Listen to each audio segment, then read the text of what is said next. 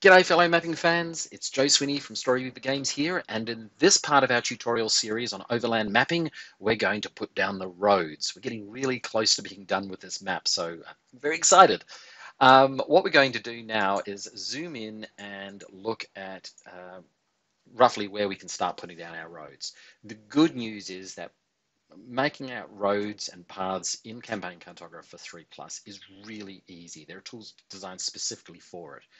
And uh, if you've thought about where you're going to place your cities and towns and villages logically, laying down the roads then just becomes a piece of cake.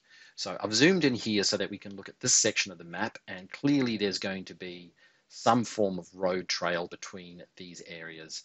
And if I just a little bit more over, probably all the way down there and maybe back up around that peak. So to put a road in, we're going to use the road tool. Now, if I just click on it once, I'm going to get a default road. I'll just draw that for you, and you can see that's what a default road looks like. Control Z to undo it. But we also have other potential roads here. If you right click on that, you could see that we could have a, a double dash road. What does that look like?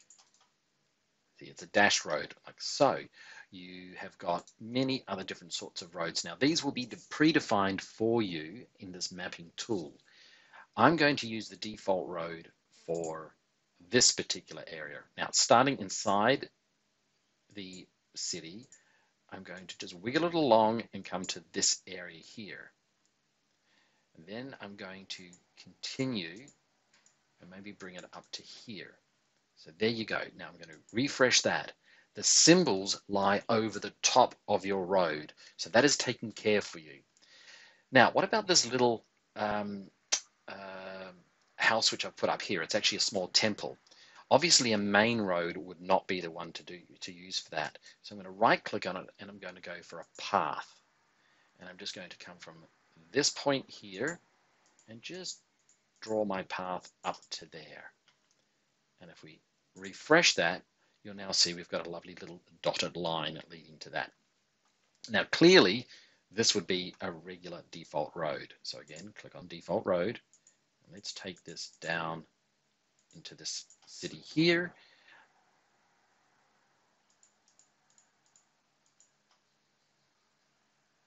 And so forth. Now, notice my road has gone over the river. I'm going to address that in just a second, but let's take it off, all the way down to that city and refresh. And again, you can see the road is running nicely down through this line. So that's basically our trade route. Now, what about this? Um, what about this river? How do we cross the river? You've got two choices. You can either go and get a structure which is a bridge and put it on top of the river and the road. Let me show you.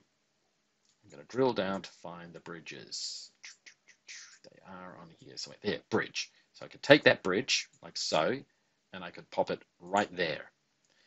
That is one way of doing it. Personally, I don't think that fits the style of this map, so I'm not going to use that. The other option is just to let them cross. They don't look overly bad. You can just allow that to happen. However, usually where there is a major crossing, there is some sort of um, at least small settlement. So I'm going to find a tiny little hamlet here and just put it on that crossing as so. Um, there's normally a boatman or something. So that's that would encourage some level of civilization. Excellent. Let's put a little path going from this little town to this um, uh, hamlet. So I click on my roads. I go to path, starting on the hamlet and just curving it up. Um, now, some people like to have straight roads on their maps. Uh, I think for fantasy maps, having a little bit of a wobble in the road is much more interesting. Um, it's up to you whether you want to use straight um, straight paths or straight roads or whatever. Uh, for me, I'm just going to curve them because that's what I like. And again, this is a fairly major roadway that goes all the way around our map like so. Starting to look absolutely beautiful.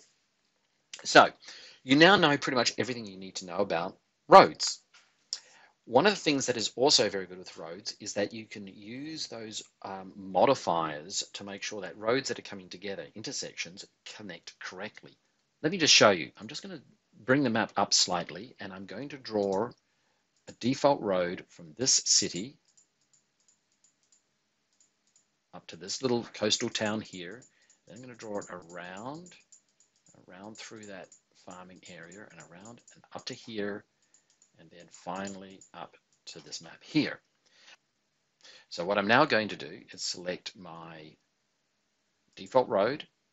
I'm going to click on this little village here, just bring it out on a slight curve, and then I'm going to use my on command and select my other road there, and now those two roads will join perfectly. Okay, now I'm not going to bore you with making you watch me put all my roads in. I think that you've now got all the techniques you need. You know to start inside and right in the middle of the symbol that you're connecting or the city that you're connecting. Make your lines a little bit wavy or make them straight, up to you, but draw them down. Use different roads to represent different things on your map and use that on or endpoint tool to make sure that your low roads line up perfectly well. Excellent. I'll see you in the next tutorial.